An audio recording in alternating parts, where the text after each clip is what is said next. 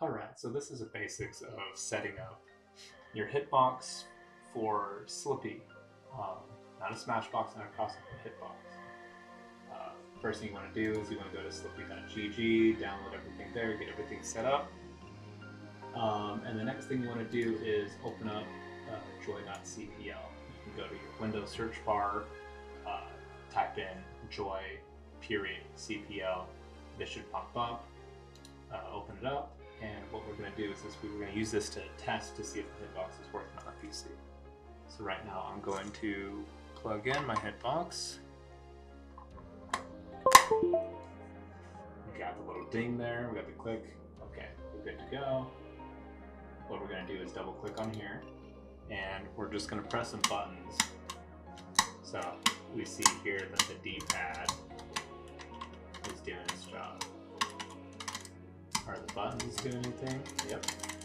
We got all buttons working. So we've confirmed that the hitbox works so on the PC, so that means it should be working on or should be read by Slippi. Uh, what we're going to do now is we go to the Slippi window here, open up controllers. Now, typically all these will have GameCube adapter for Wii U for all these. I selected these three for none, and the first port I've set selected to standard controller. Now what we'll do here is we will go in and configure. Um, you want it. You probably won't. It will probably won't pop up at first. So you want to open this up. You want to refresh, and then select the X input. Um, that is what the Xbox 360 for Windows is. Is X input. What we'll do here is I have this set up for cross-up stuff, um, but I need to set it up for hitbox stuff. So what I'm going to do is basically these buttons here relate to what it will output on the GameCube controller. Right. We do not have access to right stick stuff, so we're going to kind of ignore this.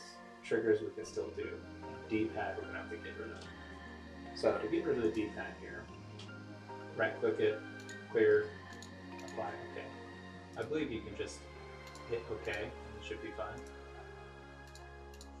I just want to clear these out just so there's no double line in here and it don't potentially confuse things. now what I'm gonna do, I'm just gonna sort of emulate what I have on my cross up here. So I'm gonna click that.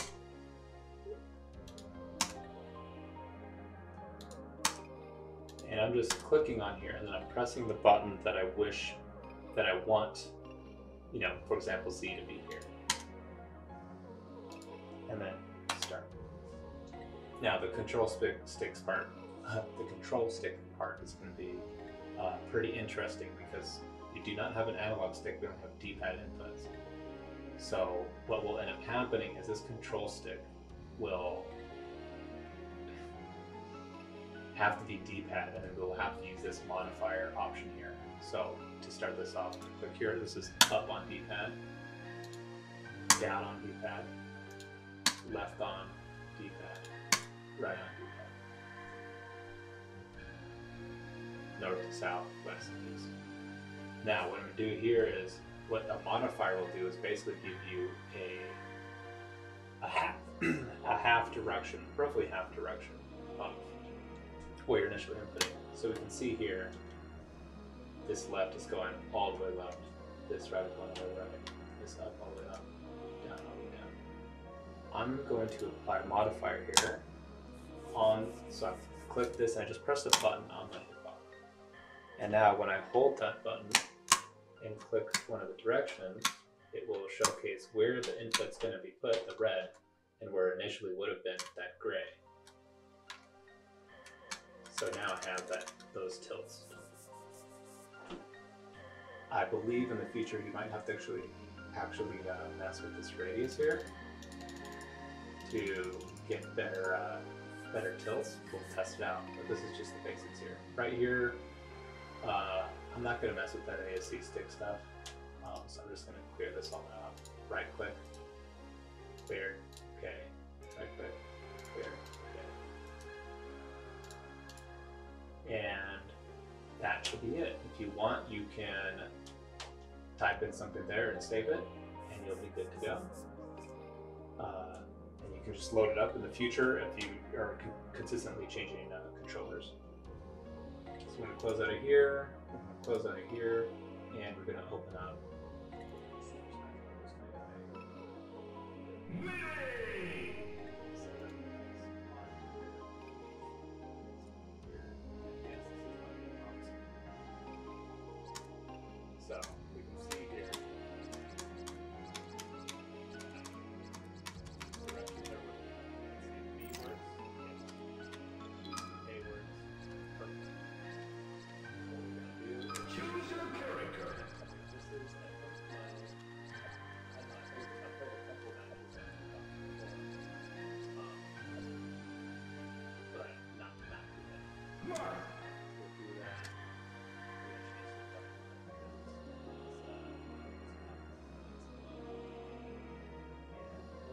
here.